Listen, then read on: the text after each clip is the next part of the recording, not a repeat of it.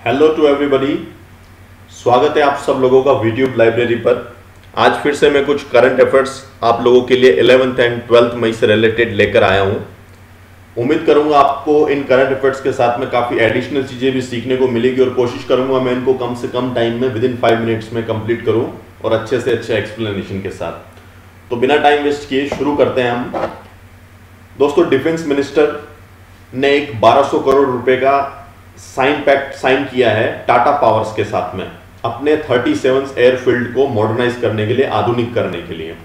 तो अभी जो डिफेंस मिनिस्टर, वो तो आपको पता ही है, राजनाथ सिंह जो हैं, हमारे डिफेंस मिनिस्टर हैं तो उन्होंने IAF Indian air force plus आपकी आईसीजी इंडियन कोस्ट गार्ड और आपकी navy okay air force navy and Indian coast guard in armies के लिए जो कुछ 37 फ़ील्ड यूज़ होते हैं उन फ़ील्ड को मॉडर्नाइज करने के लिए, आधुनिक करने के लिए 1200 करोड़ रुपए का एक पैक्ट साइन किया है टाटा पावर के साथ। ये बातें आपको हमेशा ध्यान रखनी है। नेक्स्ट दोस्तों, पंजाब बोर्ड ने टेंथ क्लास के जो एग्ज़ाम थे, वो कैंसिल कर दिए हैं और टेंथ के स्टूडेंट्स लोगों को प्रमोट कर देंगे इलेवेंथ में। और किस बेस पे प्रमोट करेंगे? प्री बोर्ड एग्ज़ाम्स के जो मार्क्स हैं, उसके हिसाब से प्रमोट कर दिए जाएँगे। ओके नेक्स्ट दोस्तों ये पडंडा कुटुप्पा करके इनका नाम है। पडंडा, कुटुप्पा। ये क्या थे? ये फाउंडर थे कोडावा हॉकी फेस्टिवल के। कोडावा हॉकी फेस्टिवल के फाउंडर थे, जिनका हाल ही देहांत हो गया है। 85 इयर्स इनकी एज थी। ओके? आगे बढ़ते हैं। स्टुअर्ट। ये फ़ोटो है इनका नाम इनका नाम है स्टुअर्ट। इनको अपॉइंट किया है लिब्रा के सीईओ। लिब्रा के सीईओ इनको बनाया गया है, स्टूअर्ट को। और लिब्रा क्या है? लिब्रा जो है, वो फेसबुक की एक क्रिप्टो करेंसी प्रोजेक्ट है। फेसबुक का ही, हमारी जो फेसबुक है, उसी का एक प्रोजेक्ट है क्रिप्टो करेंसी प्रोजेक्ट उसका नाम है लिब्रा और उसके सीईओ बना दिए गए हैं, स्टुअर्ट को। ध्यान रखना है। अगला है दोस्तों, फ़ोटो में देखिए the World Bank. The World Bank है। उसने अभी 400 मिलियन डॉलर का एक लोन है, वो अफ़गानिस्तान को प्रोवाइड किया है। क्योंकि अफ़गानिस्तान की डिमांड है ये कोविड 19 से फाइट करने के लिए तो वो पैसा जो है फोर हंड्रेड मिलियन डॉलर का 400 मिलियन इन डॉलर ठीक है?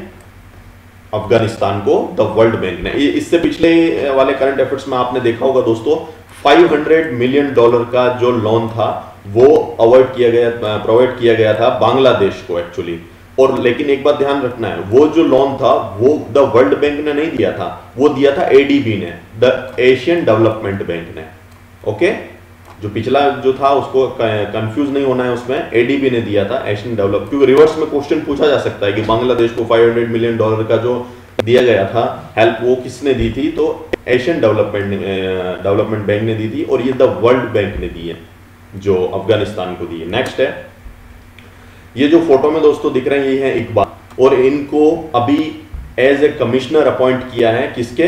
ब्रहान मुंबई नगर पालिका के। ठीक है दोस्तों? Appointed as the commissioner of Brihan Mumbai Municipal Corporation next है। ये आपको फ़ोटो में जो दिख रहा है, ये बंगाली टाइगर है दोस्तों। बंगाल टाइगर है ये।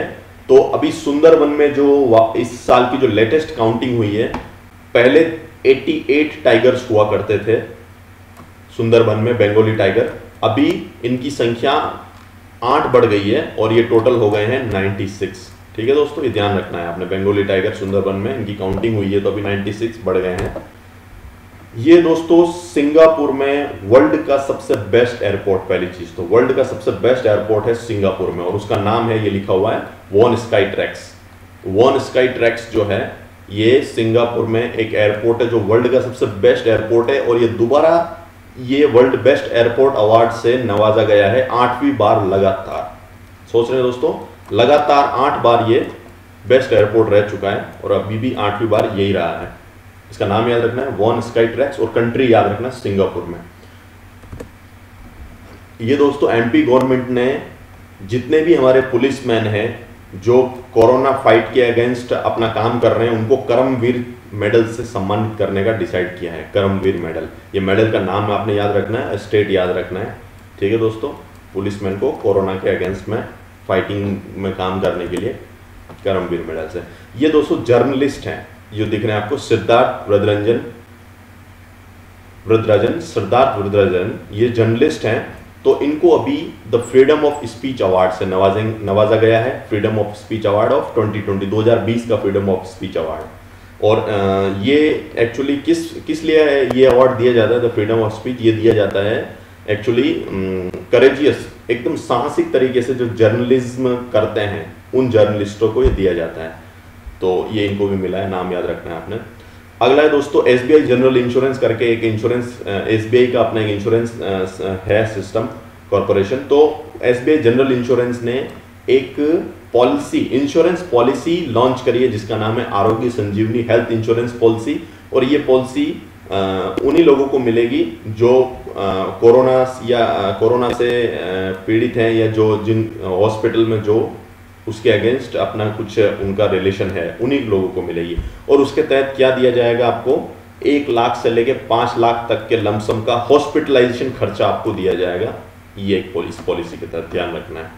एक लाख से पाँच लाख की हॉस्पिटल का खर्चा दिया जाएगा इस पॉलिसी के अंदर, एक से पाँच लाख सम का टोटल ठीक है?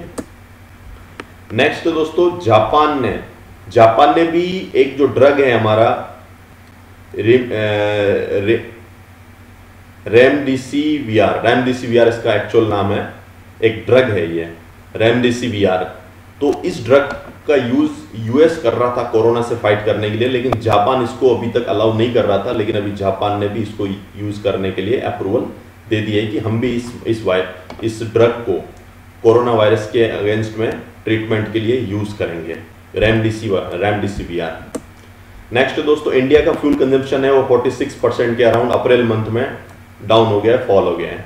46 परसेंट यानी आप कह सकते हैं सिंपल लैंग्वेज में कि इंडिया का फ्यूल कंजम्पशन है, वो आधा हो चुका है अप्रैल मंथ में।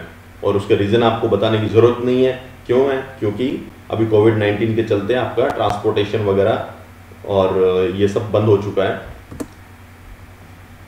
Rahul Dev the first Hindu pilot in Pakistan air force जी हाँ पाकिस्तान एयरफोर्स ने एक हिंदू लड़का, जिसका नाम है राहुल देव, उसको एज ए अपनी एयर एयरफोर्स में एज ए जनरल पायलट ठीक है?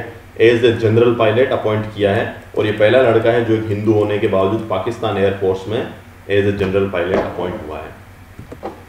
ठीक है दोस्तों, इतना ही सा वीडियो था छोटा सा और काफ़ी जो आपको करंट अफेयर्स देखने को मिले, काफ़ी इंपॉर्टेंट थे। आपको पता लग ही रहा होगा वीडियो देखने के बाद। आपको वीडियो अच्छी लग रही है, इसको लाइक करिए कमेंट करिए शेयर करिए। और चैनल को सब्सक्राइब करिए अगर नए हैं तो। अगर नहीं किया हुआ है तो भी करिए। एक बार करना है, सब्सक्राइब। आपको काफ़ी अच्छी सारी informative and knowledgeable current affairs GK general science आपको मिलती रहेंगी। थैंक यू दोस्तों, तब तक के लिए मिलते हैं। जब तक नेक्स्ट वीडियो में लेके नहीं आता हूँ। तब तक के लिए गुड बाय जय हिंद, जय भारत।